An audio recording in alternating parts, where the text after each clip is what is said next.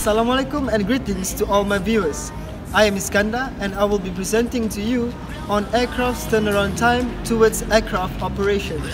To increase productivity, it is an airline's interest to minimize the turnaround time of its aircraft. But do you know what turnaround time is? Airline turnaround time is defined as the time required to unload an airplane after its arrival at the gate and to prepare it for its departure again. In today's era of exorbitant airport charges and rising fuel charges, levied across the world, it becomes important for airline companies to come up with ways to cut back costs. Since there is very little control over fuel costs, one of the ways airline companies can cut back costs without compromising quality is by reducing turnaround time. In order to cut costs and increase performance, airlines work constantly on reducing turnaround times as these smaller and larger adaptations can be seen as important process of innovations and they are very crucial for competitiveness. In the absence of such measures, some companies find themselves in situations where they end up with very low profits or with very high losses. Airline turnaround time has hence become a very important and key parameter in determining the profitability of an airline company. Such situations can lead to a lot of undesirable consequences as it has a direct impact on the survival of the organization due to a series of payment crises one after another. The well-known turnaround time of low-cost airline aircraft is usually about 30 minutes on short-haul flights, as against about 1 hour for a traditional company. Meanwhile, for long-haul aircraft, the turnaround time is obviously longer. There are more passengers and there are more catering supplies and baggage to load. In addition, the aircraft are bigger, hence they require more fuel and cabin cleaning time. For example, Air France.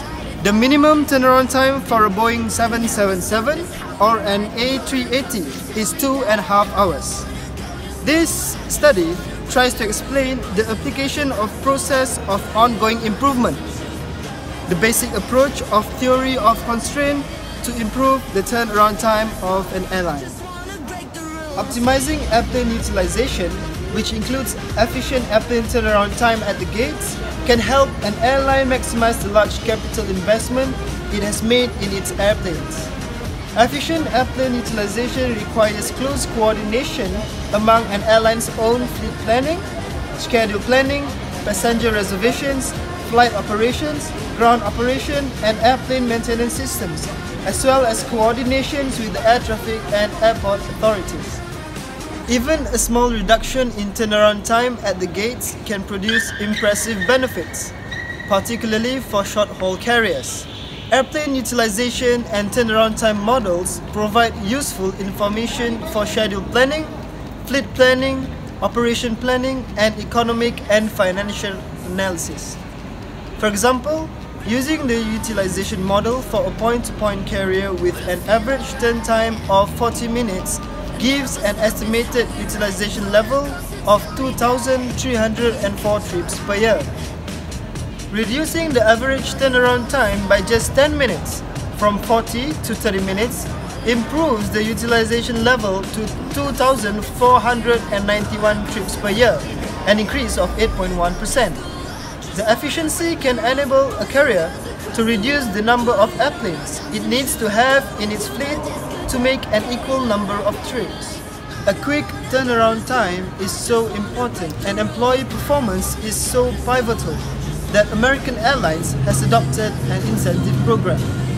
If American Airlines ranks higher than its competitors in three key on-time categories, all 130,000 employees get 150 US dollars each as an incentive to their performance. As for the future, operators who would like to take advantage of the cost savings and efficiencies of increased airplane utilization may want to start by educating their workforces about the positive effects of reducing turnaround times. The expectation of air transportation services will be higher in the future. In order to hit that target, Advancements in various aspects is very crucial and it does not only shortens the aircraft turnaround time but also the other sectors as a whole. For example, the airline may explain that saving 10 minutes on 2000 trips per year means an additional of 20,000 minutes available for additional flights. More flights means more paying passengers and ultimately more revenue.